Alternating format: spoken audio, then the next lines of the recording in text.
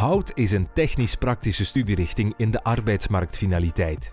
De afdeling hout houdt vooral in hedendaagse meubelen maken eh, voor interieurinrichting, maar we maken hier ook even goed timmerwerk, eh, binnen- en buitenschijnwerk en houtbouwtechnieken. Eigenlijk beginnen we met de basis en dit gaan we eigenlijk gaan opbouwen naar de hogere jaren toe, naar volwaardige projecten, waardoor zij ook stage gaan doen in de hogere jaren. We gaan beginnen met een uh, ontwerpschets. Die gaan we gaan, gaan uittekenen op uh, computer. Dus, en dan gaan we daar een houtstaat van maken, een materialenlijst.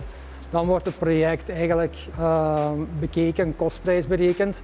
En dan gaan we gaan, gaan zorgen eigenlijk door het uh, werkstuk gaan uit te werken en vervaardigen. En desnoods in de hogere jaren worden ook de werkstukken ook geplaatst.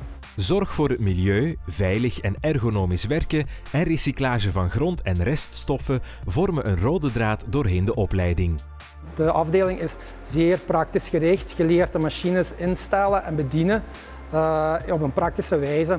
Waardoor je eigenlijk een CNC, CAD-CAM-programma's, noem maar op, gaat je allemaal gaan leren bedienen. En dat gaan we proberen op zo'n technisch mogelijk en praktische wijze aan te leren.